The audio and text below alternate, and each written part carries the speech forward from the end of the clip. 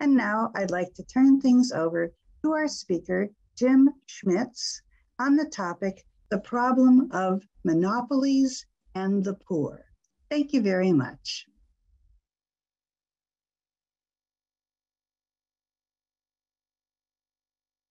Okay, is are my is this what uh, is this the way it's going to go, Judy? I mean, this is great. Okay, I'm going to mute myself, and you're on. This looks good. Okay, good. Thank you. Uh, well, thank you, Judy, and uh, thank you to the Ramsey County Library for for inviting me to talk about uh, the history of monopolies and so on. Um, now, let me just start with a disclaimer that I, you know, I want to say that you know, these are my views. Oh, and thank you for all of you for coming. I don't know if I said that, uh, but especially thank you for all for being here. Um, but the disclaimer is these are my ideas, these are my opinions. They're not the opinions of uh, the Federal Reserve Bank of Minneapolis or the Federal Reserve Board. So that's important to say. Um, before I start these slides, um, I thought I would just take a couple minutes and describe the general outline what I'm going to do today. Um, I think it'll make it a lot easier uh, to, to figure out what I'm going to do. Um, and so the first thing I'm going to say is that there's going to be three main ideas that I'm going to try to um, get across. And one is that our forebears uh, in economics and philosophy and history, by which I mean, you know, those thinking about these topics in the 19th century and first half of the 20th century, um, they, they, they studied that they concluded that monopoly, you know, it was widely considered that monopolies were very, uh, very uh, widespread and very harmful. Um, um, so that was a very widespread view. And, and moreover, they emphasized that uh, monopolies disproportionately hurt, hurt poor people or low income people either. So that's one idea.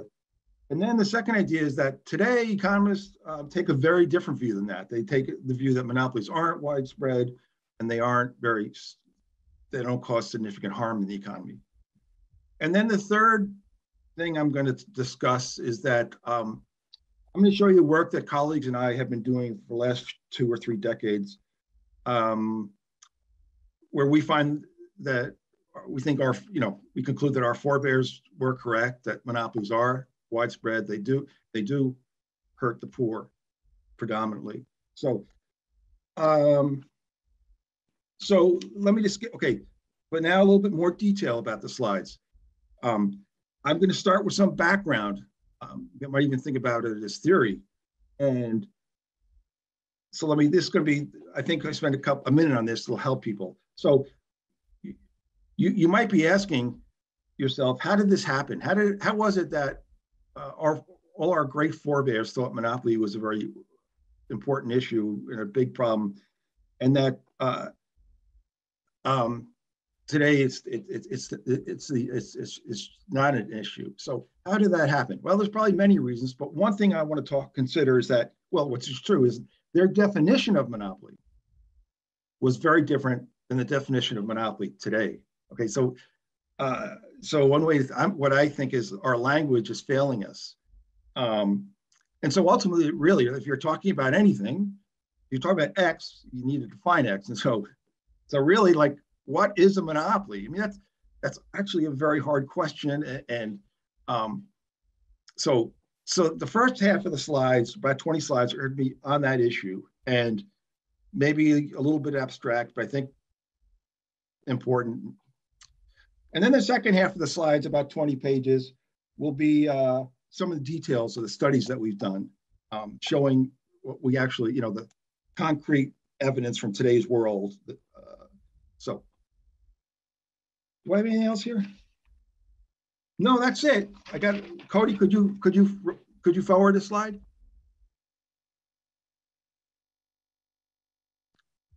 Okay, you did forward it. Thank you. So um, some of these slides will, will, will be are things I've sort of discussed, but I think it's better that you got the whole picture. So as I said, forebears argued that monopolies were widespread and harmful and they hurt the poor. And some I've just written down a few of our forebears. Adam Smith, maybe known to some of you, he wrote The Wealth of Nations in 1776. Um, the book is considered to be uh, you know, the birth of economics, um, sort of. And it was a book basically written as an attack on monopoly. So I like to think of it as that when economics was born as an attack on monopoly. Then I'm just, I scoot ahead into the late 19th century with William Folwell, who some of you may know. He's a Minnesotan. Uh, he has a great history. He's an incredible person, and I'll talk about him in a little bit. And then two other people who uh, sort of my are my heroes. Um, I have heroes that are alive too, but but uh, Henry Simons and Thurman Arnold, and I'll talk about them a little later. Um, okay, so I think that's. I know I want to go slow, but I think that's probably good. Okay, Cody. So, um, now the, from the 1950s on to, to today, I already said that economists argue monopoly is too harmful. Now, one thing to say is, I, I just want to bring this up, is like, it's not that we disagreed with what they said. It's not like we said, well, you know, those studies you did were not good or the logic of your arguments were poor. Was, we simply ignored them uh, completely. And so it's sort of, uh, well, okay, that's it. That's as simple as that. Okay, Cody. So again, how did economists reach this new conclusion? That conclusion being that monopolies were not harmful. Well, many factors likely contributed to the, this new conclusion. Obviously, hubris, uh, potentially, since we didn't even think about reading who came before us. But um, as I just as I emphasized, we haven't we changed our we, we changed the definition. The definition changed. Again, it was not knowingly. It's not like we said they had a bad definition. We just adopted the definition.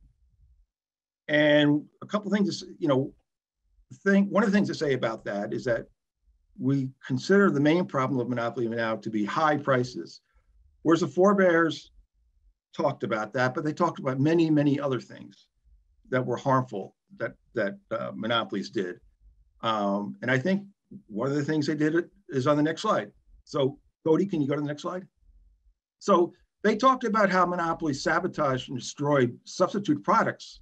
Right? So they had a product and they were trying to develop a monopoly on it and they uh, destroyed it. I mean, this is language that Thurman Arnold, Henry Simons would use. They use this language. Uh, so um, pretty strong language, but I think it, you know, and I'll tell you how they did that, and, and I'll describe how that's going on today, and how actually how their do, monopolies do that today, um, but are un, you know nobody sees it. Um, as again, it's typically the ones purchased by the poor. Okay, Cody. So I, I always I want to make sure I go slow because I usually don't go slow, and um, um, actually I'm not seeing people is probably, I wish I could see you all, but not seeing you makes me go less fast, I think, which is good. So anyway, um, so here's Thurman Arnold. So let me just talk to a few things. Thurman Arnold was a, is a, was a great legal scholar. Um, and he went to work for Roosevelt uh, Franklin and, uh, as a part of the New Deal, and he's one of the New Deal uh, brainiacs or brain trust people, or um, but before that, he was, you know, was taught at Yale and had some very influential books, which are still taught today in law schools. Um, but then he went to the Department of Justice. Uh, uh, Roosevelt asked him to be the head of antitrust at DOJ, and um, so he was a bit of a controversial pick, but he turned out to be an incredible pick. Um, he was worked from 38, 1938 to 1943, a very long period.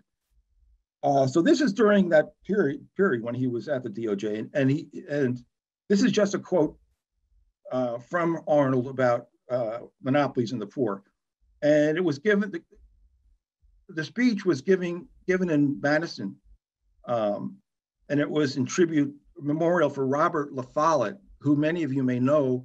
Um, he was called Robert Fighting Bob La Follette for for fighting monopolies. Um, you know, he he passed away in 1925, so to give you some idea of his his life period. But um, so you can see what Arnold said. Arnold said, "We found that our United our United States only expansion had been a luxury." So this is he's looking back on the depression.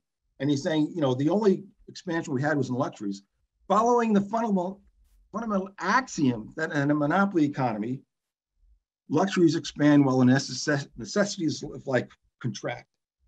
And so implicitly, he's saying during the Depression, we had a monopoly economy. And again, a lot of people put a lot of the, Simons would say that. So anyway, um, okay, so that, again, Simon, oh, uh, he's, he's my hero, this guy. Okay, but okay, so, um, okay, um, Cody, let's go to the next one.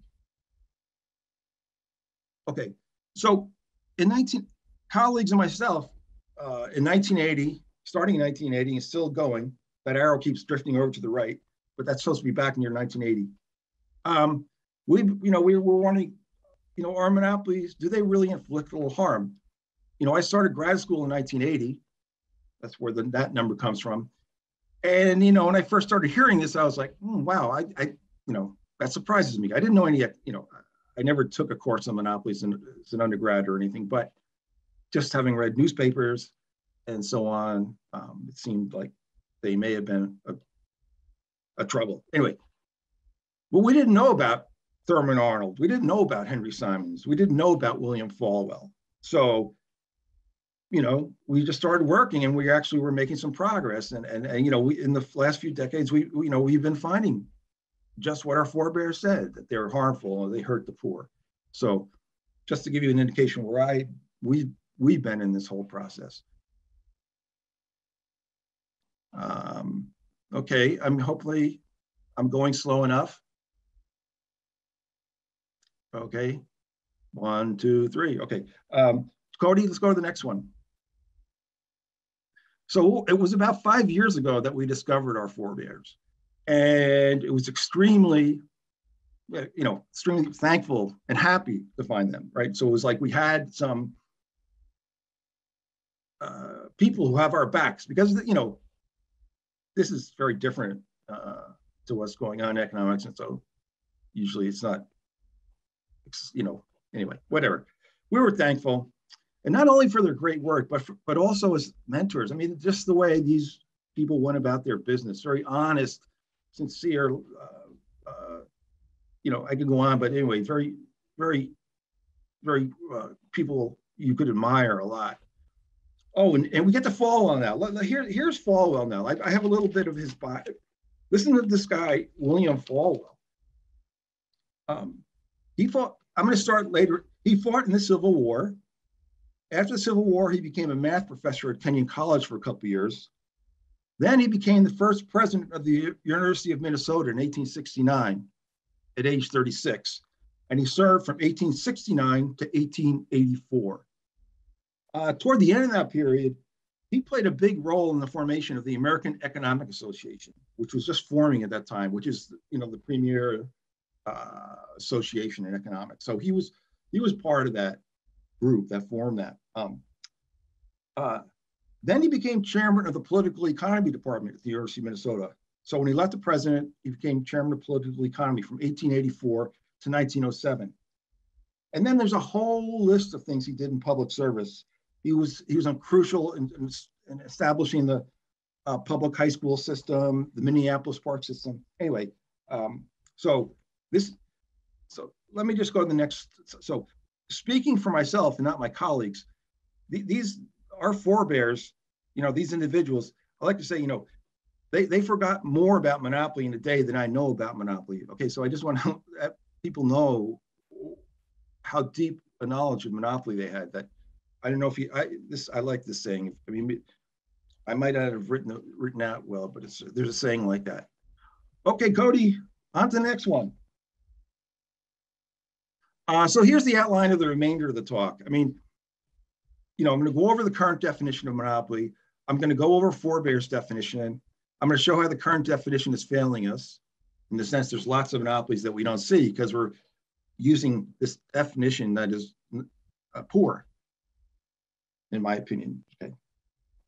Um, of course, because the definition, we choose what we want, but I think I, I, the one today is is is horrendous, in my opinion. Okay. Um, I guess go to the next one, please, Cody. So this is a definition. You'll find it in all textbooks, undergrad textbooks, graduate textbooks. You'll find it in academic papers. A monopoly is a firm that is the sole seller of a product without close substitutes. Okay. Um, okay, that's it. Okay. Um, let's go to the next slide. Yeah, following this definition, again, the analysis about you know how costly a monopoly may be or how bad it is usually it very invariably it just talks about the monopoly, how the monopoly chooses a price, and is how how bad is that for society. Um, so that's you know so it's it's a it's a firm with with no sells sole seller of a product. Okay, Cody, one another one. Uh, so so it's I want to well I'll, I'll, show you that I think it's extremely narrow. You know, I mean, what firms in fact satisfy this definition? You know, none of the firms you might think of, Google, Amazon, Facebook, satisfy it. For example, you know, often the definition will be extended to say, oh, okay, well, firms which have a large market share. Um, uh, well, that's fine. that that not as, anyway that that's that leaves to trouble and i won't maybe i'll get to some of that. I don't that does nothing for me. I don't think it's a good definition or a good way to go. I think some of that will come out in this talk. Okay cody? Um so again forebears okay? So this is going to be a little okay i'm sorry these slides not be might not be perfectly placed but here what are forebears? They knew. They knew that many organizations besides firms, are single sellers with no close substitutes and have substantial control over price. Okay, so we go back to that definition where we have firm there. Uh, you know, we can take that out and just what, you know, a monopoly is an organization that's a sole seller product with no close substitutes and has control over price. Okay, so I mean, just that alone is a big improvement because we look we, we can see, I mean, there's no reason to limit ourselves to firms, right? no logical reason because there's, no, I don't think that's uh, an arguable or that's something that needs to be argued about. Okay. Okay. So, and then here's the other, now here's the other thing. Many of these organizations achieve this status as sole sellers by destroying substitutes for their products. Okay, it, it, you know, they didn't, you know, sometimes people get a patent. I'm not talking about that. I'm talking, you know, so if you get a patent, okay, you may, could be a sole seller and you got to be through research, but I'm talking about when the political system is used or violence is used or disinformation is used. Um, and that happens all the time, okay?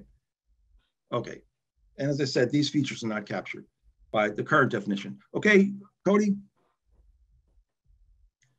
Okay, so I'm gonna go over, yeah, I should probably pick it up. Okay, I know, I, am gonna go over an example here. It's, it's, like, a, it's like a model. It's like an abstraction uh, that comes from an actual experience of, of traditional builders of homes that build homes outside using craft methods have block factory homes in the United States for the last hundred years. Okay, um, and so so this this is an example. Okay, to show you of an organization which is the sole seller of a product, which has control over price, and did it by sabotaging a substitute. So let's suppose, and I have a few symbols here, which may be, um, okay, which may be um, that's fine. Let's, we'll just go. So suppose X is housing services produced with traditional methods. So good X is produced in an area with a large number of firms, hundreds. Initially, suppose that's the only way to produce housing services. And suppose that the goods, those who produce it form good X, uh, form a trade association. Of course, this, this, the producers of this good now as a group, the trade association are the sole sellers of X. Everybody who's, the, we can think of them, they're the sole sellers. Okay, Cody. Um, okay, so imagine a new good is developed, making how producing housing services with factory built homes, say good Y. Um, This is a substitute for X and is likely to replace good X. It's a much better product. Okay. Um, you know, um, anyway, certainly building smaller homes. Uh, so it's it, it all right. So now the trade association can marshal its resources to attempt to sabotage this product. It has lots of potential weapons, which have been used, right? Legislation saying you, you know, outlawing these things, regulation, getting, you know, getting the government to, to regulate against it, misinformation, uh, deceit. There's many weapons. Okay, Cody, okay. Um, now, can, can a trade association, that's what TA means, can that convince individual members to contribute resources? Now, this is because the economists say, look, if you have a firm with a thousand employees that is, that's a sole seller, I mean, that's very different than a trade association with a thousand members. How are you going to get them to contribute? Economists think have a term free rider, right? Suppose there's a thousand firms and we ask, you know, we ask them all to contribute monies for the lobbying effort. Well, if I'm one of those firms, I'm going to say, well, whether I contribute or not means absolutely nothing to how much is in total is going to be raised, you know, roughly. So I'm not going to do it. So we kind of say, well, you know, these this can't happen, but um, you know, it does happen. I mean, many organizations have overcome these issues. You have peer pressure, you have shame, and other things. Anyway, if you look at history, they do get over by this. Okay, Cody. So, you know, suppose a trade association now, through its lobbying, is able to block good why. Um, forget the next two lines. So the idea is that um, they block good why. Good why can't be used like it can't be in a lot of places in this country, factory homes. So now, uh, so we have control over price, obviously, because we, you know, there's a price for our for our houses now, and, there, and it, that's positive. And if we hadn't blocked it, we would be gone. So we're, you know, our price would have been zero. So we have a control, very significant control over price, obviously. Um, and we became a single seller because we got rid of the, the, the potential threat to us. All right, Cody, let's go. I'm, I, I, I, I was too slow for a while. Okay, so let me just say, this, this, this is like, um, this is like, uh, okay, but it's clear, right? If, if you're a builder that makes traditional homes, you said there's competition. Of course, there's competition, right? There's free entry people can come in and build homes a traditional way. There's in some sense there's competition, but it's not you know in some sense. But there's really not competition in this industry in that in the sense that we've blocked and destroyed a product that the industry should be producing. And so that's where like people using the current definition, I'm getting ahead of myself, right? The people using the current definition, economists, the top economists in the country, they say, look, this is a competitive, you know, they don't consider a possibility of monopoly in the industry because there's so many firms. It's so competitive. But they completely miss uh, what our forebears knew. Our forebears knew this, what I'm talking about. Okay, Cody. Um, okay, look, now I'm going to, I'm finishing up the theory part. Okay, so this is like, remember I said, okay, I said I was going to talk about the forebears definition. Well, let me give you just a few details about this they acknowledged, they said, you know what? It's really hard to define monopoly. A definition is an abstraction. And it's difficult to find a good abstraction when monopolies are so widespread. They're doing so many things. There's so many different types of organizations. There's so many weapons they use. So how do you actually do that? Okay, so next, Cody. Uh, so let me just say, I'm not even going to put up a definition, or I mean, I'm going to give you something. But anyway, uh, again, Thurman Arnold had a definition. He wrote down an organization is a you know that does these things is a monopoly, and he had like seven things, right? So he said direct, you know, directly, if you're doing this, you're doing this, you're doing this, you know, you're a monopoly. It's a beautiful way to think about it, and and we don't have to have his list. We can have it shorter, we can have it longer, but it's a beautiful way to think about it, right?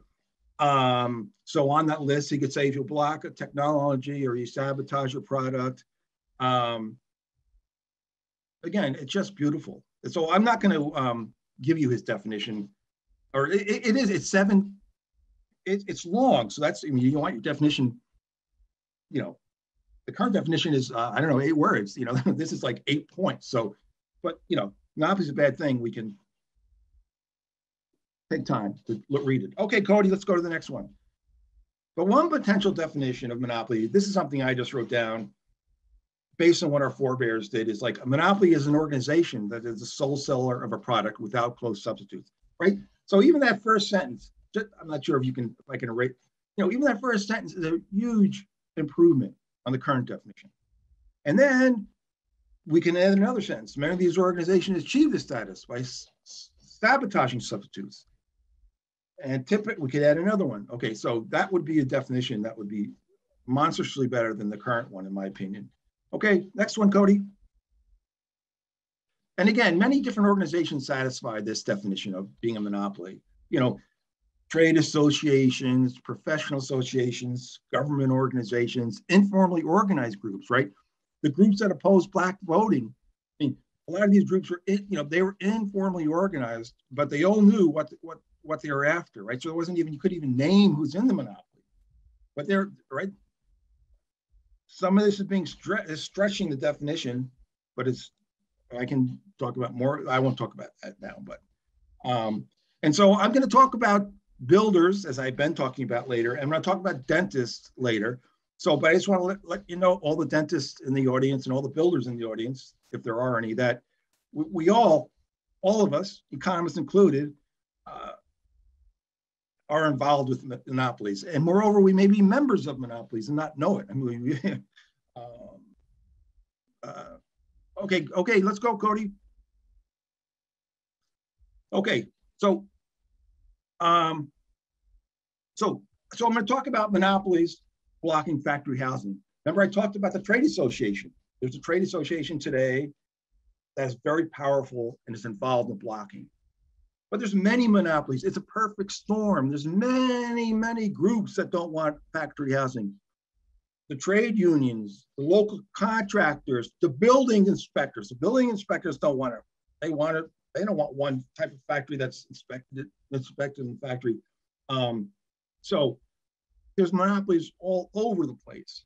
Um, so Cody, can we go to the next page? So this is a this is an advertisement from is it the Tribune? Yeah, it's the Chicago Tribune, September 6, 1921. So um, there there was a there was a war going on in the construction industry between uh, different monopolies, trade unions, local contractors, which had a monopoly, the uh, materials producers. You couldn't you couldn't buy any materials except those made in Chicago at the time. So there was all, and so Judge Kenesaw Mountain Landis, who some of you may know, famous character. Anyway, he he he um he agreed to to arbitrate these disputes. And one thing he did was he was trying to make the system much more efficient and so on and so forth. And one thing he said was, uh, it was thought, I'm not sure that, that, you know, he's saying we're not allowed to have factory homes uh, shipped into Chicago. So this this is one thing that was hoped to be changed. So in 19 so in 1921, this this is an advertisement from Gordon Van Tine Company.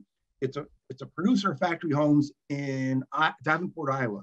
So they put this ad in the paper the next day after the arbitration decision and said, look, you can buy factory homes now in, um, oh, I'm sorry. That's fine. Uh, it's, is this okay now? Somebody says like I'm moving about too much. Yeah, that should that should be okay. I'm sorry. How much was missed? Sorry. I think you're I think you're all right to keep going. Yeah. Okay. All right. So all right. So okay. Uh yeah, sorry. Okay, let's let's okay. So so you can see that um um you you can see that factory homes were blocked in Chicago, and and and uh, Judge Landis was trying to get them back in, and this company thinks it's going to happen. I'm not sure if it did happen. You know, obviously, uh, there's a lot of violence back then, and not clear what happened. But anyway, they were blocked. Okay, can you can you go back, Cody, to the previous page? Okay, so now, um, Now, here's a case in 1941 where the Department of Justice, remember Thurman Arnold was there, um, brought this case against uh, monopolies attacking prefabricators. So the first step in the protection of the prefabricator was taken in September 1940 by an indictment with charges of conspiracy to prevent the sale of prefabricated houses in Belleville, Illinois.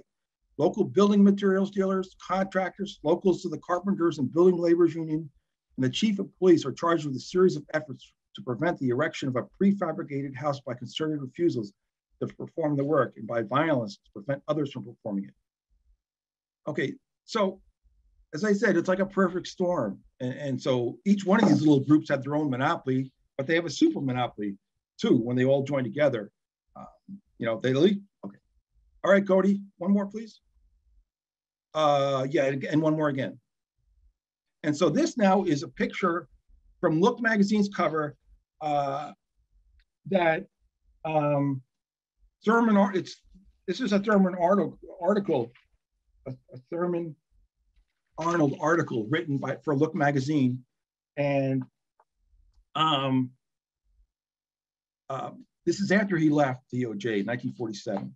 And the caption, it's hard to read, but it says, this specific Pacific War veteran and his family are homeless because we have let rackets, chiseling, and feather bedding, feather bedding block the production of low cost housing. Okay, so Cody, can we go to the next slide? And this is from that article from, by Thurman Arnold. Why can't we have houses like Ford's? For a long time, we have been hearing about mass production of marvelously efficient post-war dream houses, all manufactured in one place and distributed like Ford's. Yet nothing is happening. The low-cost mass production house has bogged down, bogged down. Why? The answer is this. When Henry Ford went into the automobile business, he only had one organization to fight. But when a Henry Ford of housing tries to get into the market with a dream house for the future, he doesn't find just one organization, organization blocking him. Lined up against him are a staggering series of restraints and protective tariffs. Um, okay, Cody. So, so this is so okay. So so this is this is still happening, right? This is still happening. So we're still blocking the production of factory homes in this country. Okay, you know, 100 years after Judge Landis uh, tried to stop, you know, issued his arbitration order.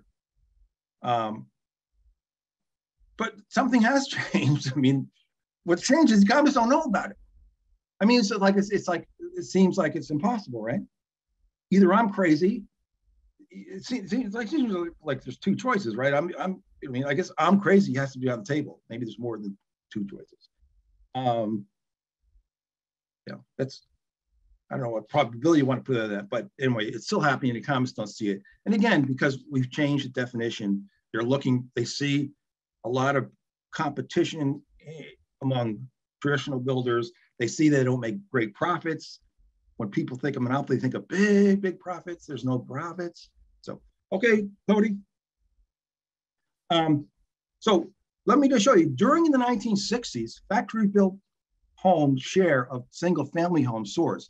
I mean, factory homes are a very low cost way to make homes. So you could think at some point they're going to get try to get over this resistance to them being produced. And they did for a while. So in the 1960s,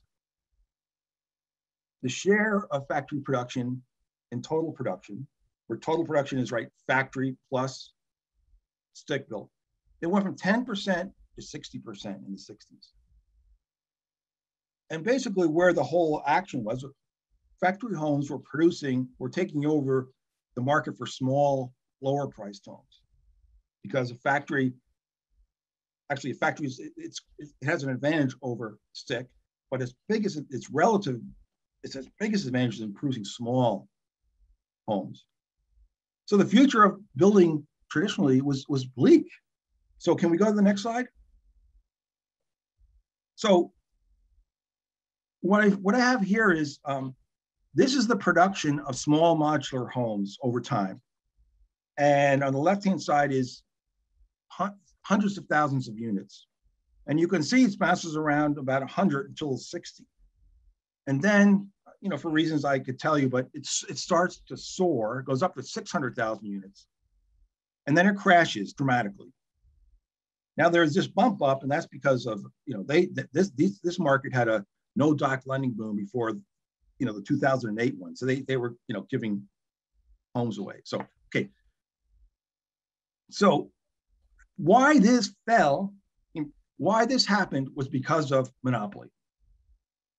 It was HUD, Housing and, Housing and Urban Development, working together with the trade association of the builders called the National Association of Home Builders, working together, devising ways to kill the smart, to kill the industry.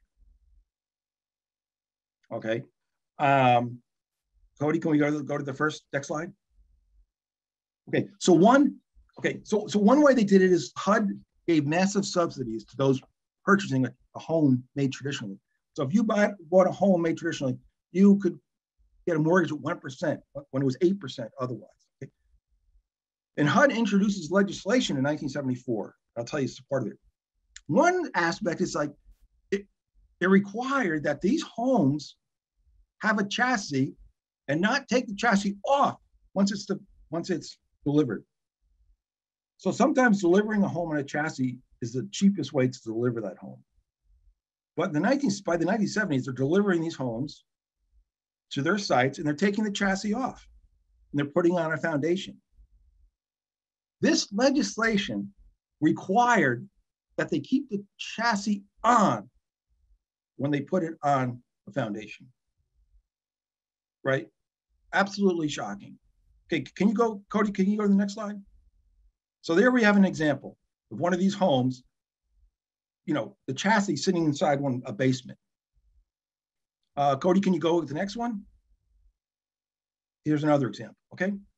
This, this is really a disaster for the industry, right? Can you go back now too, or yeah?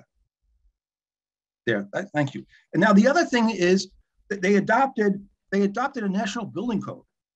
Now, can you go ahead three, Cody? Thank you. Okay. Now, those who know anything about factory homes, it's all they okay, they, they developed a national building code for small modular homes. So if anybody who studied factory homes, it's like, oh, building factory homes is not um, economical because you have to build for one town and then you go to the other town and it's and the code changes. So you know, you you have to stop your production line and, and change all the things in the production line and just, oh, this really reduces the, the efficiency of the factory. So they said, oh, we're going to have a national building code. So the code is the same for all places. Okay. Sounds great, right? And, um, but it's, it's not because it was not because you need all the builders in the country to face that code. So let's go to the next slide and I'll tell you what I mean. And, and people don't get this still. So where did traditional builders compete with the factory? They were competing with them and mostly with like small towns, maybe small cities, rural areas, okay? In these areas, the local builders often face no building code. Okay, so so I'm gonna I'm a so if I put on a, a national building code for factory builders, which is actually a pretty strict code, so I'm before the before this law, I'm competing with, you know, factory people and, and local people, local uh, traditional builders are competing, but there's no code. So that you know they, they just whatever the customer wants, they, they agree, whatever, so on and forth. But now I have I as a factory producer have to put follow this really strict code. So it devastated them. So so that's why uh, that happened. Okay, Cody, let's go. Thank you and so, you know, I'm just putting quotes on like I sort of already presaged. That okay? Um, sorry. Okay. Um, you know, it, these are quotes from. I take their names out. You know, the top economists in housing, top top top departments, and they're like, you know, housing is applied by many many people. You know, it's very competitive. You know, there's so no ba- there's no barriers to entry. Anybody can enter. Profits are low. I'm sorry to bounce around. Okay. So, as I said, economists don't see this. I guess what's more disappointing, actually, when I explain it to economists, housing economists, sometimes they're not interested. And then I actually see that they're in charge of, well, well, this is true. I can say it, and I won't tell you the names, but you know, in charge of uh, institutes that are getting funded by NH, NAHB and HUD. I mean, it, it, it's unbelievable. Okay. Okay. Um, okay, Cody.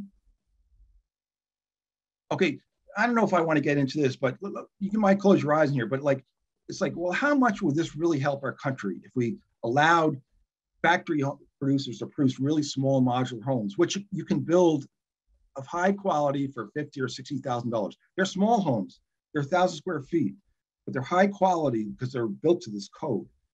So how much is that really going to? Because you you can't put one, you know, you can't put one of those in a city, right? Everybody when they think of affordable housing, often it's like we're talking about Minneapolis or St. Paul. So you're not going to put one of these things in the city, right? Because you know that the cities sort of block these things, block nice houses anyway, right? So what do you I mean? How much does it matter? Well, the point is that it's going to allow people to build new cities or smaller cities or go to small towns where, where people, uh, companies are trying to hire people, but there's no cheap housing, right?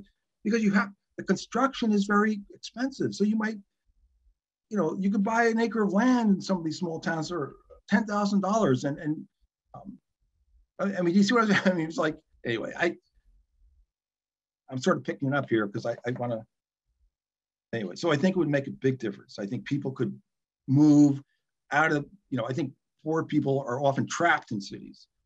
Um, I mean, there's a literature like, why, why do poor people live in cities? And they say, oh, it's because of good transportation.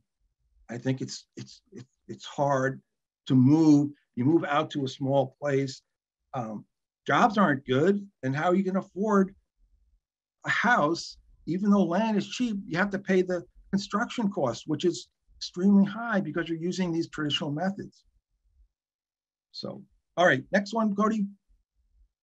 Okay, I'm gonna, I'm gonna do the oral health system now. Uh, so the American Dental Association is a very, very strong professional association, and it has long blocked low-cost substitute. And so I've, you know, there's a lot of research done on this. And so I, I will skip that actually, and I will even, I will talk about how uh, the ADA even attacks other dentists. You know, maybe maybe their own members. Um, so, um, Cody, we'll go to the next one. Thank you. So, again, this will be no surprise to Thurman Arnold. I mean, two of the seven points above where I'm listing here. They, meaning monopolies, set up an arbitrary and despotic control over production and exploit weaker members of their own group. Okay, this is incredible. It's like, you know, I've been studying monopolies for 30 years and I see this all the time. And like, or, or like after he said it, I put it together. I mean, I, I forget exactly what, but you know, I would just read this stuff and I was like, my God, so much was clear to me. And so I'm I think. I forget the timing area, but anyway, thank God for Thurman Arnold. So, okay. Um, now, one reason they do that is because they, you know, they stop monopoly stop the introduction of new and more efficient methods in order to maintain obsolete ways of production.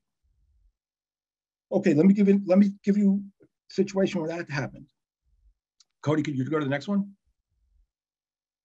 So Sarrell Dentistry. This, this I'm taking. I've done. You know, this is come, comes from June Thomas and Slate. Um, my good friend, uh, I forget his name. He sent it to me a number of years ago. It was great. I mean, Todd Smalley. Okay, but anyway, um, uh, so Sarrell Dentistry is an innovative dental group in Alabama, and it saw a great need for oral health care among low-income children in Alabama because low-income children often, I mean, their, their, their dental health is is extremely bad typically. Um, they get funding from Medicare. I, I, forget they get some public funding, but it's very the rates are very reimbursement rates are very low, and so often they can't get dentists to accept their insurance, or they live where dentists don't, ex- you know, don't, they're not even our dentists. Okay. So Sarrell's idea was we're going to achieve high volumes of care. And even at low reimbursement, rates, we, we can have a successful model. Okay. So like a factory. I mean, I, you know. And so they did this by opening clinics. Um, Oop, I just saw Ann McKinsey. Sorry. I have some ideas about that. Um, anyway, let me keep going. So, um, um, so I'm going to go to 130 if that's okay. Anyway, I, am almost done.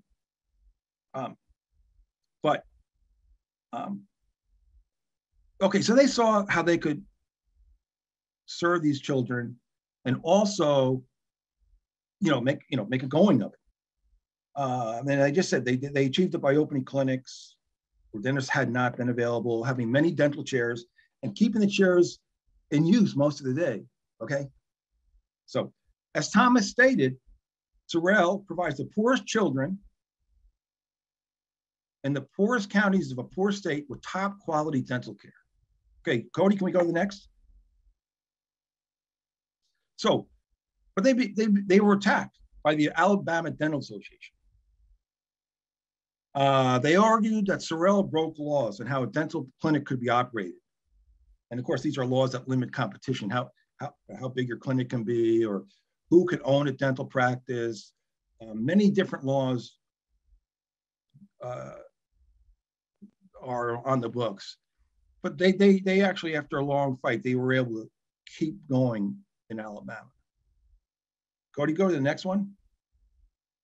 So when Sarrell was later, you know, it, it tried to move into adjacent states, but those dental associations were able to keep them out, right? So, so, um, so the benefit Sarrell's care was denied these the low-income children in these adjacent states. I don't know if there's any. This would be an incredible way, study to do, you know, to look in these other states and compare how their low income children are being treated to, to Alabama. I mean, if anybody uh, is interested in uh, that, want to do that, that, you can talk to me. I'll, I'm willing to help. I mean, I just don't have time to do this stuff, but um, it would be, be great. Okay, okay, so Cody. Oh, okay, let's go. Can you go back? Sorry, I have an introduction to that yellow piece of paper. So, um, so I'm going to trans. This is my transition to the telegram. So, I haven't said anything about Henry Simons. So, Henry Simons was a professor at the University of Chicago in the 30s and early 40s, and he was also one of the um, great thinkers about monopoly, along with Thurman Arnold's. Um, and um, um,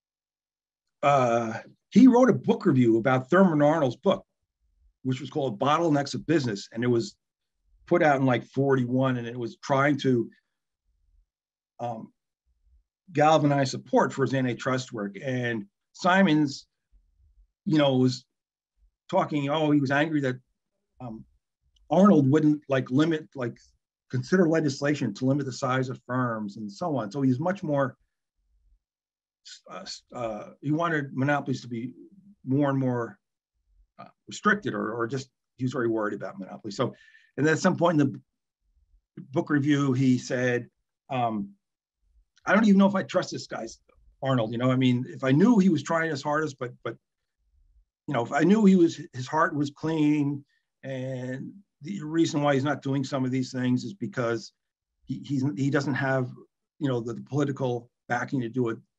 Um, I wish I knew that, you know, because I can't trust him right now. And, you know, a few more sentences later in the paragraph, he goes, I'm going to trust no. I mean, I mean, I don't read anything like that in economics, and it's sort of like set your, puts sort of fire in your belly. It's, it's the way you would write. And so, um, but um, I have a few minutes, but let me let me just read the last paragraph of that book review. uh, I think you get an idea of Henry Simons. Um, and it's hard to understand actually because he writes like an old guy, uh, well, old way. But anyway, let me just read this paragraph. If I belabor him, Arnold, for being unduly preoccupied with a short view and unmindful of long run considerations like legislation, I do this mainly for the purpose of raising questions which I think should be discussed, at least in academic circles. Questions which Arnold would be unwise to raise if he wanted to.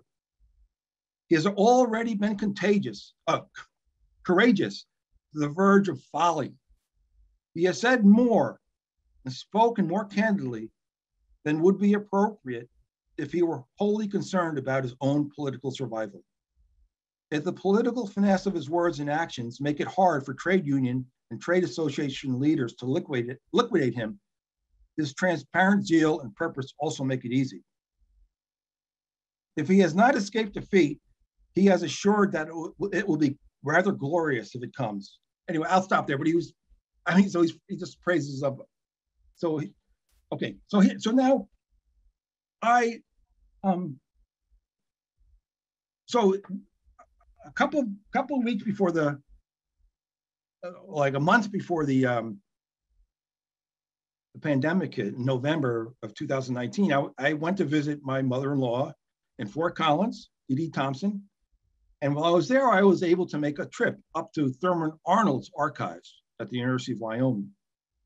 And of course, I was dying to know how much more I could learn about Henry Simons there and Thurman Arnold and maybe their relationship. So I mean, I would love to have transcripts of what they talked about. So anyway, but I didn't find much, so I'm going to go back. But I did find one thing, and the, the thing I found is what that yellow piece of paper is. Cody, can we see that telegram?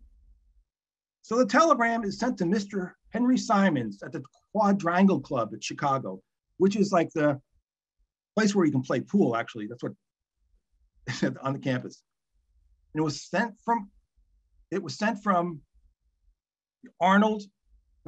It was sent from, yeah, from Arnold Simons. And what it said is, wire me time of your arrival. Want you to go to cocktail party with me if possible. Well, doing research is fun, but this is some of the most fun I've ever had reading that telegram. I knew there was only one thing um, um, in, in, in the in the archive that I could find it quickly, but I found this, and so um, I didn't scream or, or, raise my voice because it was a, but I came close and I think my fists were raised. And so, so these guys were good friends, um, it seems. Um, and you can see that he actually paid for it, how things have changed, right? He, it's a personal.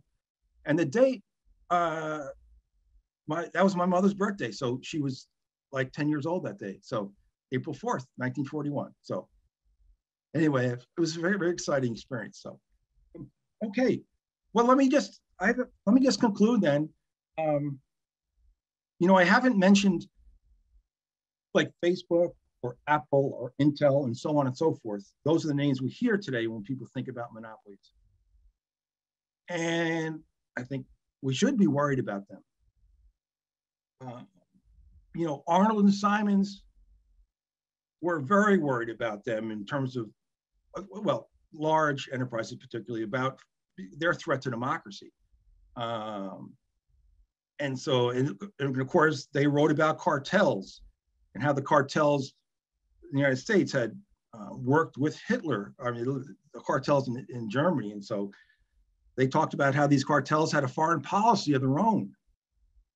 And so they were extremely worried. Um, and of course, that that's that's true today. I mean, you know, we look at, um, I think it's Apple. Apple's like giving China technology so they can, um, um, you know, follow follow people better, or track people better. I mean, so do we want Apple?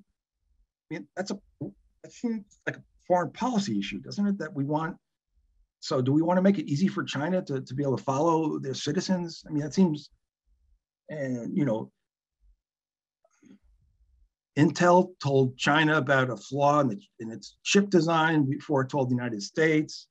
Um, I don't know. I go on and on. I mean, I just, but I'm just saying, th- there's very good reasons to worry about um, some of these characters. And, and again, it's not because of price, it's, it's other things. Okay. Um, but, the, but, but what my colleagues and I have been talking about is like, this is, we're talking, we want to, we want to make clear that there's monopolies out there that are unrecognized. And, oh, I should say, who are the people worried about these big firms? Well, they're the people who are doing pretty well in our country, right? They're, we're, we're the ones who democracy serves well. So, I mean, democracy hasn't served low income people as well. Um, and so, you know, you see how housing that the poor would be would buy being built being blocked for 100 years. And we don't even now we don't even know what's happening. Um, so the point is there's so many monopolies that are harming the poor that are not recognized. And um, it's because the they don't have the political power. I don't you know just as an example. So last thing i'm going to say is i've been mentioning my colleagues so I, I, should mention them by name but i probably forget a lot of them but anyway like um, you know i worked with tom holmes um, tim dunne ben bridgman shur chi mark wright and arilton teixeira just a few that i wrote down here but okay well i hope I didn't hope I hope it uh, didn't speak too fast. Thank you. Okay, and thank you very much, uh, Jim Schmitz. Uh, we are now ready for questions. Uh, and I see that we do have a number of questions already, but I believe we have room for some more. Uh, I will just say to our audience again, uh, please put your question in the Q&A column, not the chat line. Uh, if I see them in the Q&A column, then I read them in order and that's the fairest thing for everyone. So I'll start right in. Um, first question, uh, how is Facebook not a monopoly? You said early on that Facebook, um, um, I think Microsoft, uh, Amazon, none of those were monopolies. And this well, person again, wants to know, why is that? well, using the current definition of monopoly that economists have, a firm as as a sole seller of a product. So you can't, you know, I guess how you that depends how you define product. If you say, so if you think about, well, let's say Google, and you think about advertising on search search engines, right? Well, Google probably maybe accounts for, I don't know, 90% or 80% of that market. But um, so in that sense, it's not it's it's it's not the sole seller. So I very much think, you know, I'm not so I'm not saying Facebook is not a monopoly. I was saying in the context of the way economists think about monopoly, it's not. And as I just said in the conclusion, I mean, if it sets or and uh, let me just go back. What is a monopoly? And I think the definition should include potentially Facebook. So I, I, I hope that's clear. I mean, I'm not. I'm not.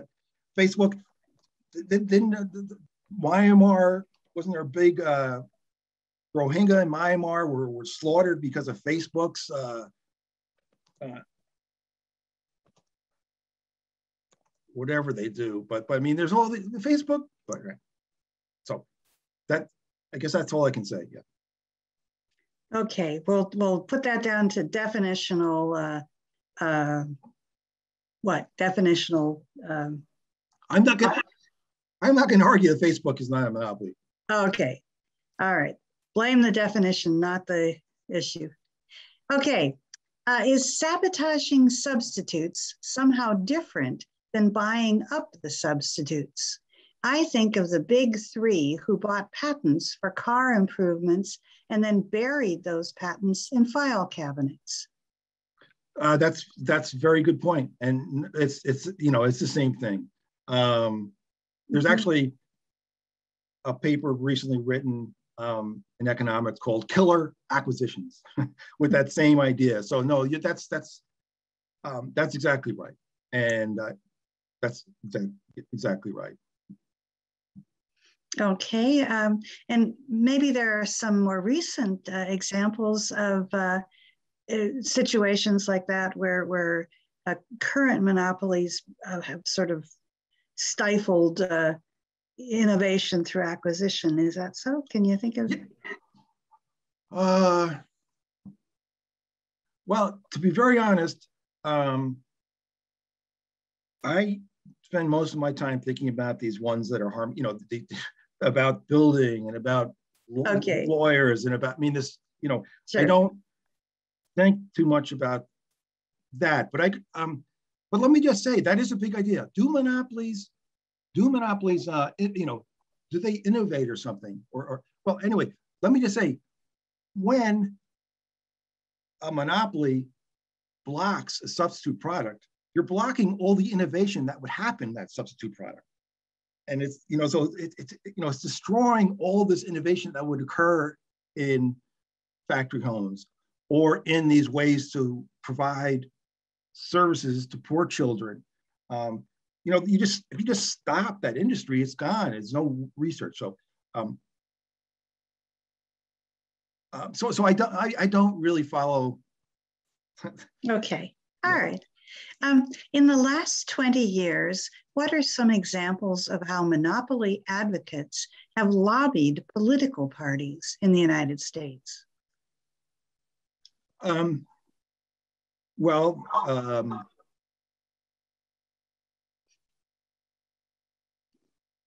I mean, it's it's it's continuous. I mean, for example, I haven't talked about lawyers yet, but there's there's things called unauthorized practice of law statutes, which say that nobody can give legal advice uh, of any kind, how, no matter how trivial, whether paid or unpaid, if they haven't passed the bar exam. Okay?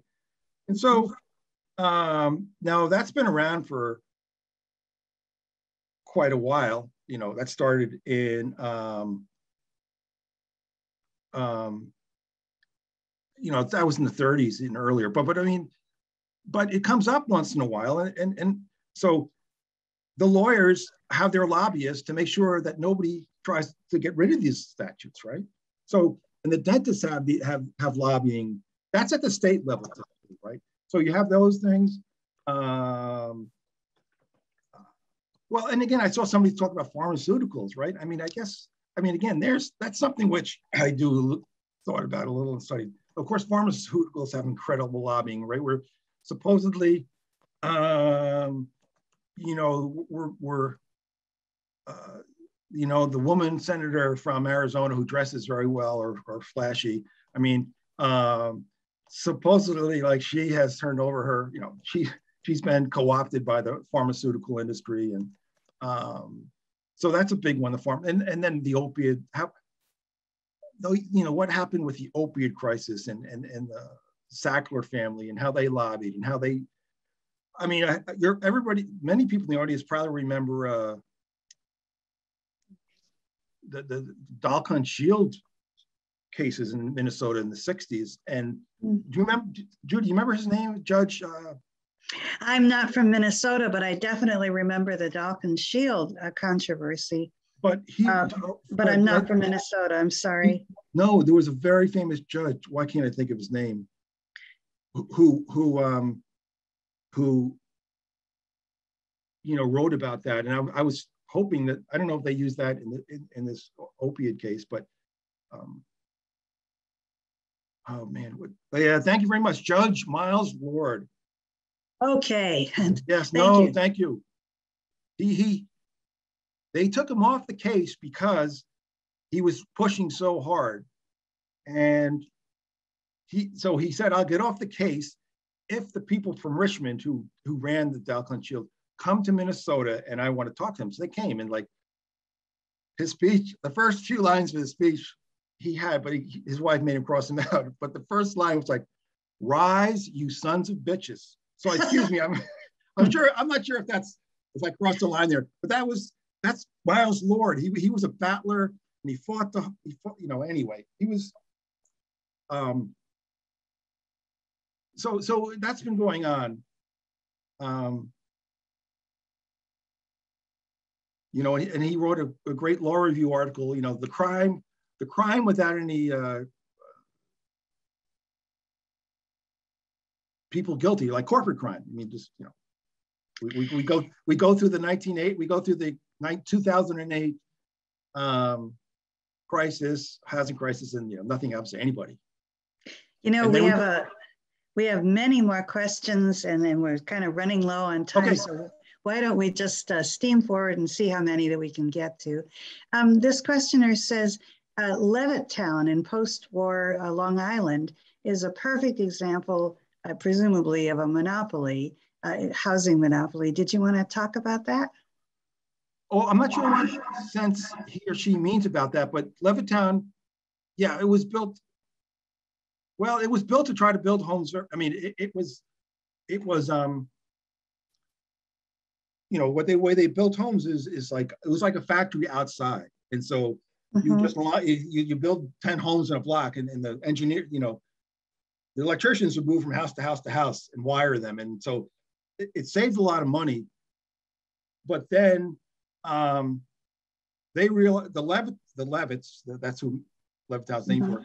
They actually just they just you know as the 60s went on they they started in the 40s as the 60s went on they realized look uh, we can't be factory built methods and so during the 60s when the factories started taking off they said um, you know they just got out of the business because they said look if we I have quotes you know they say look if we if we really if the only possible way to house people in, in a decent, reasonable way, the whole population is in a factory. I mean, and they just closed down. So I'm, it doesn't sound like I'm answering that person's question, but I know a lot about Levittown and, and, and the history of it. And, mm-hmm. and um, they lost, they, they, okay, that's all I can say. Yeah. I think maybe the questioner was referring to um, pre-1960s uh, instances of uh, attempts, Bramy, at um, oh, monopoly in housing, because he also goes on to say Sears Roebuck sold building plans and provided materials for individuals to build their own houses back before the 1900s. Right, right. So yeah, so he this this person was saying, you know, Levittown was an attempt to, to get to overcome uh-huh. monopolies, and that's exactly right. And as I said, they ran they did run into trouble themselves, you know, mm-hmm. trying to develop their method. They got their method up and running, but then they realized it's cheaper in a factory and they closed. So so no, what he talked about or she is exactly mm-hmm. right and very interesting. That's why I may spend a lot of time on that. Yeah, if you go back to the early before World War II, yeah, Sears was do, doing a lot, and that company Gordon Van Tine that I mentioned.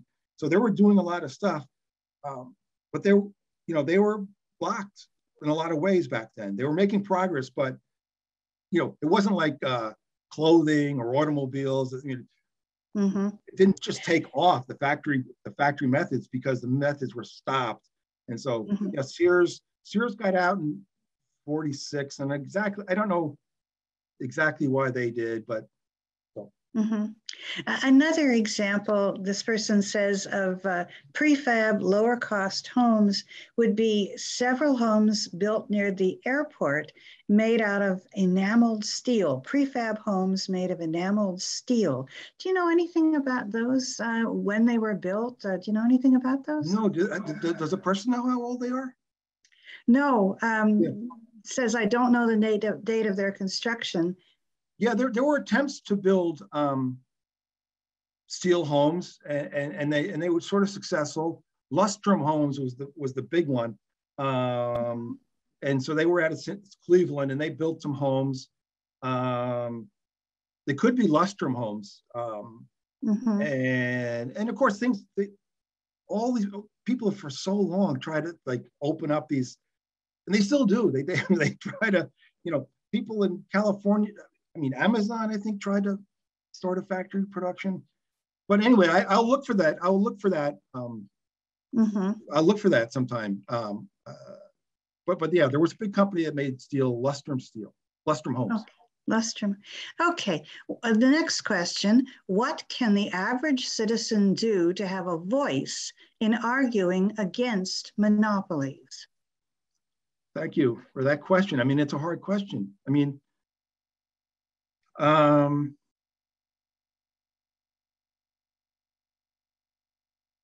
yeah, it's a hard question. Sorry. Um, you know, I'm a little. It's it's it's up against you're up. People are up against a lot of you know. Oh, okay. um,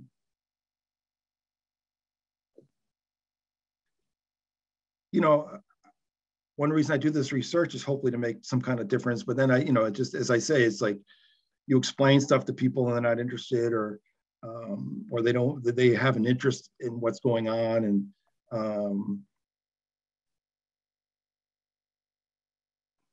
boy, I, I, mean, is my wife Sarah listening? Can you call, call me home with Sarah? My wife's much smarter than I am. I mean, all right. Well, we'll give you, know, you no, I mean, a chance, but I, I, listen to Ralph Nader still on. He's still on the radio, believe it or not. And he always, mm-hmm. with the interview somebody, he always asks that question: "What can I do?" And I'm like, and I always say, "Well, I'm glad I'm not being interviewed by Ralph Nader." So, so, yeah. um,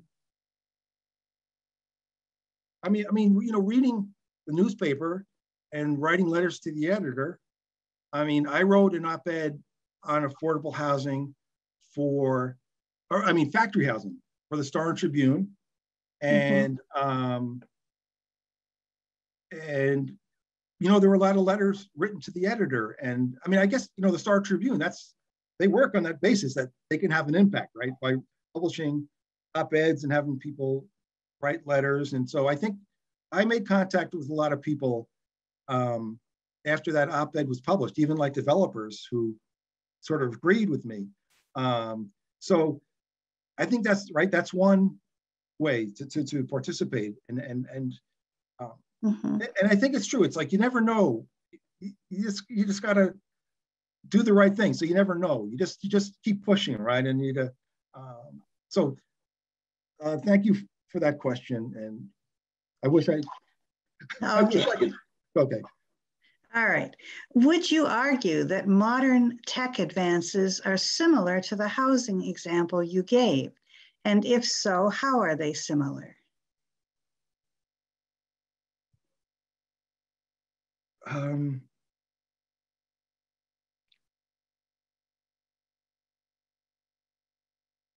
well, again, I say away from I mean, intellectual property obviously is something that comes up, right? And and and, and the monopolies in that. And I have a good friend um, who who's written about that very well. Um, and um, so this is, I mean, I'll say something. I mean, this may mean nothing to the person who asked the question, but you know, I mean, it big tech in some ways is a lot of like every other industry that the people who get out in front have or first have the have political power and they use that power to um, like the patent system right i mean um, software was developed you know nobody you, took out patents at the first at the start of the software industry and and then then you know the patents started coming once you know microsoft and so on and so forth became the leaders and they used the patent system to block um, followers. So I don't know if that does anything for anybody, but but uh, um, so I, I oh I, I, should say I think I think a lot of these a lot of industries do follow this pattern that you know that like like the the um, the housing industry that um, they block substitutes. And one thing I haven't really mentioned, which people will have heard this, is that they actually monopolies actually lower productivity in their own industries.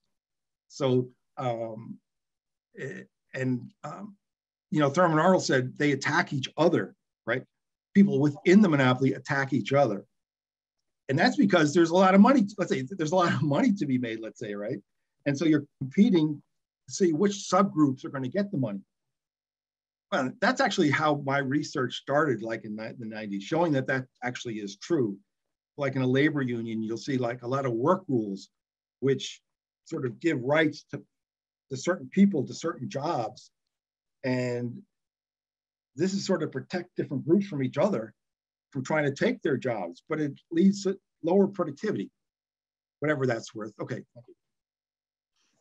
All right.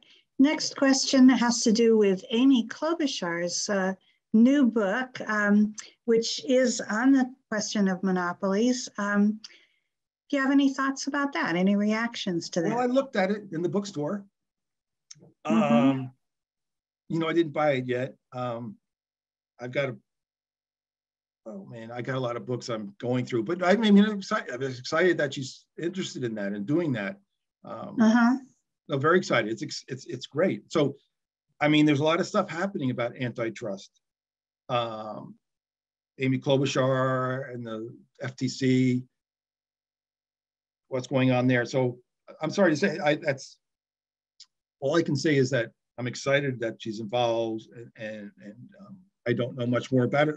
Oth- Other than I did look, you know, she's not talking about factory housing. She's not talking about dentists. She's not, she's not talking about these um, things which I think fly under the radar. And, you know, in some sense, are more important than, than other ones because it's hurting poor people. And, and like, you know, we want to consider, you know, they're the most important people to be worried about. I mean, um, you know, if I have to pay more for my uh, going to a dentist because because uh, hygienists can't work on their own, well, I have insurance, and what's going to, you know, it's not going to affect me.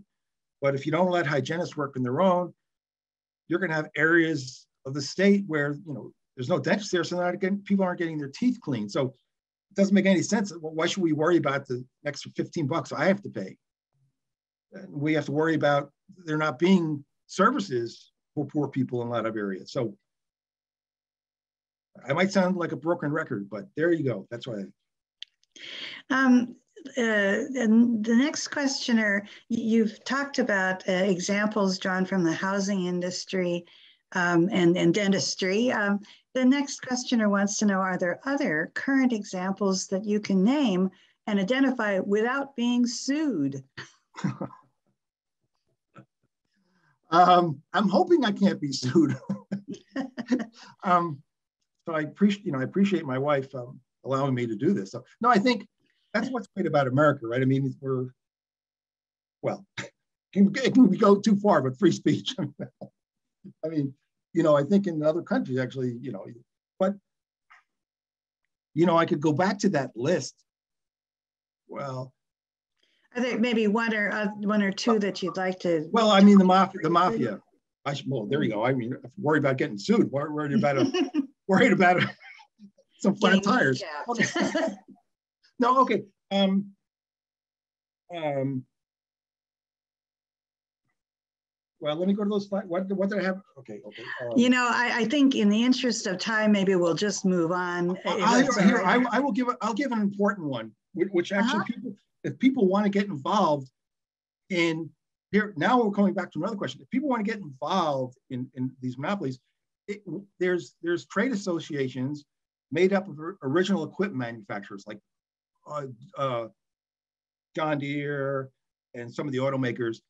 And what they do is that they formed and they're lobbying to stop independent repair people.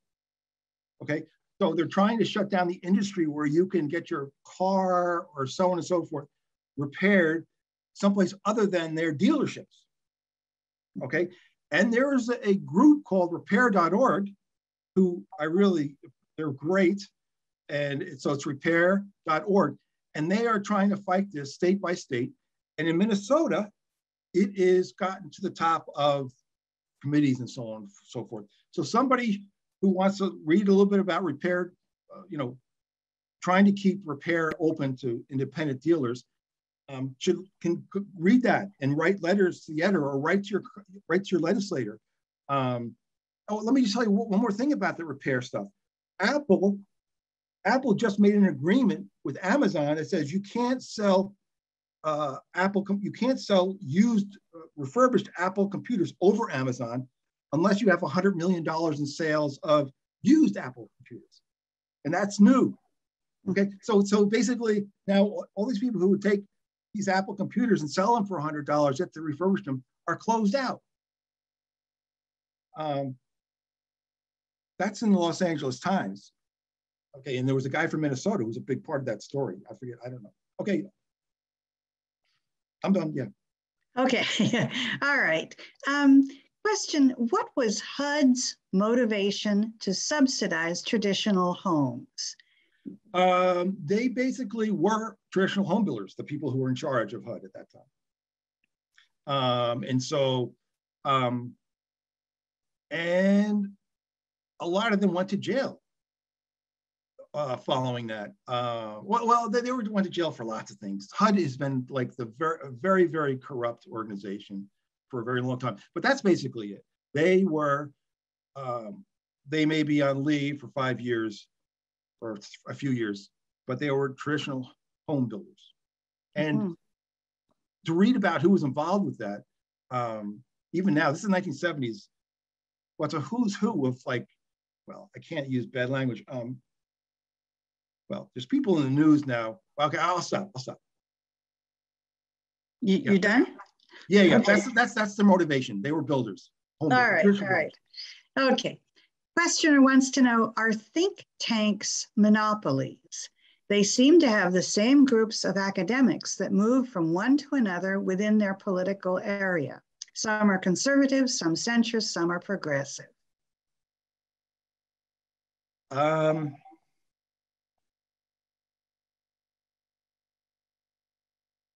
I guess you know. I guess um, I can see there they, they, certainly have become uh, insulated or, or inbred. That's maybe that's a better word. But I think there is. Well, and again, there is there's a lot that open up, but again, I don't know much about you know like Brookings. I mean, I don't maybe maybe you just can't hope to get any leverage with, with the press if um, you're not one of these people. So they, they could they could, in some sense, be very close to selling the sole seller of a certain product. They, they could. I just don't know enough about that. I mean, I know, um, you know, I know I know people don't, you know, and economists don't want to think about monopolies differently because they've used the old way to think about it. So I mean, Judy, your husband's in uh, academia. No, I'm just saying that's well known in academia. Like you just, I mean, you, you, know, you know, people people have vested interests in in what they know in the old ways, right? And so, and that's okay. I mean, that's the way the world works. But the question is like how, how you take it beyond certain points and, and so yeah. I, I, think we'll move forward. Here's a question that I think inadvertently ended up in the Q and A column, but I can answer it. Um, this questioner says, I have no audio for this section. Um, uh, can you provide the audio? Well, I don't know if we were able to restore his audio, but I do want to say to anyone listening, if you had problems with the audio or visual on this uh, broadcast, this broadcast will be recorded and posted to our website. So you will have a chance to listen to the whole thing later. I'm sorry that's not a perfect answer, but I hope that helps. All right, moving straight on because we're almost out of time here. Does the fact that Facebook and Google provide services to customers at no charge, does that fact exempt them from antitrust action? Um, well, here's another admission. Here's another admission. I mean, it doesn't because in, in the sense that there's antitrust cases being brought against them now and I forget exactly why. But again, I'm, you know, I guess it's pretty bad to admit this, but I'm going to. I mean, I don't know much about the antitrust laws. I mean, I'm interested in knowing what a monopoly is. I mean, then, you know, after I figure that out, you know, then you make the antitrust laws. I mean, again, that's talking from an academic point of view. Of course, you have to be involved um, in the current time, but I, I'm more like a Henry Simons. Like I'm, you know, well, I, I want to know what a monopoly is, and then then I can talk about antitrust. So I do know a little bit, but I'm not. I mean, and you know, it's it's like the Sherman Act was the first act, and people keep referring back to what did Sherman, you know, this act, and they talk about what did Sherman mean when he wrote this, and I'm always like, well, I didn't. I mean, who the hell is Sherman? I mean, he's, he's not Thomas Jefferson, right? I mean, sometimes we can. I I don't think you know we can go back and ask apologies to maybe his relatives, but why are we like, and of course I know why we're doing that, right? Because antitrust lawyers, that's all their skill is in, in making like cases around the Sherman Act. So they don't want to change their what antitrust is, but it's, it's, it's a very antitrust, well, antitrust is very well, it's just, there's there's monopolies in antitrust. I mean, I've got that written in some of my uh, papers. I mean, there's some bad things happening in antitrust. Uh, just not just among the people who are engaged in it. We have a couple of questions dealing with the pharmaceutical industry. Uh, one questioner points out that they have the largest number of lobbyists in Washington. And uh, another questioner says Medicare is legally prohibited from negotiating drug prices. Uh, is this a good example of monopoly influence? What sort of monopoly influence does the pharmaceutical uh, industry exert? Well, I mean, I guess they they get it through, you know, through contribute through they get it through uh, political power and, and, and confusion.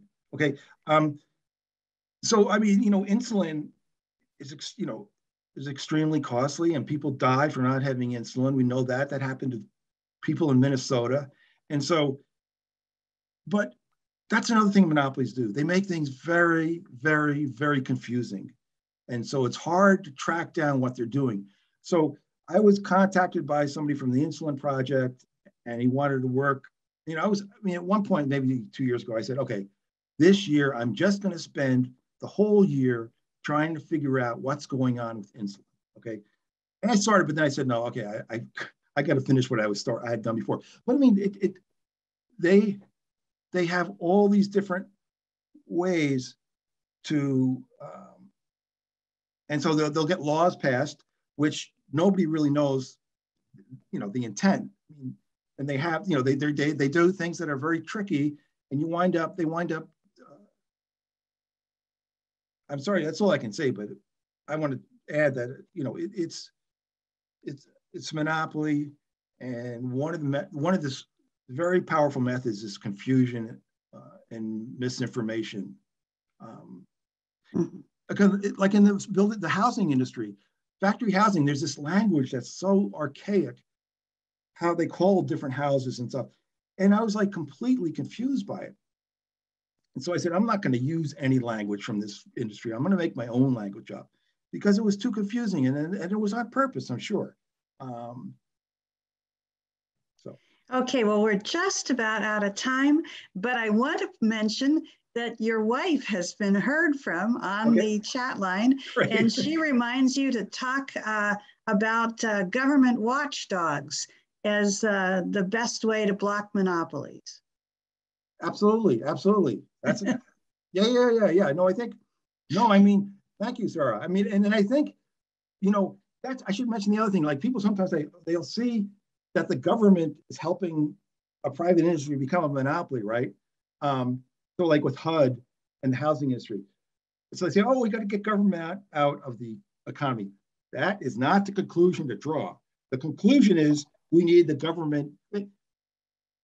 Henry Simon says, I, am a, I'm a libertarian, but I want to make sure that my government is stronger than my businesses, my monopolies. So you got to get them down, right? So, but if you try to do that, of course, the government's going to, you know, there will be there will be industries that take over the, the government's attempt to get rid of them. And I mean, it's a complicated world. So uh, thank you, Sarah. Thank you.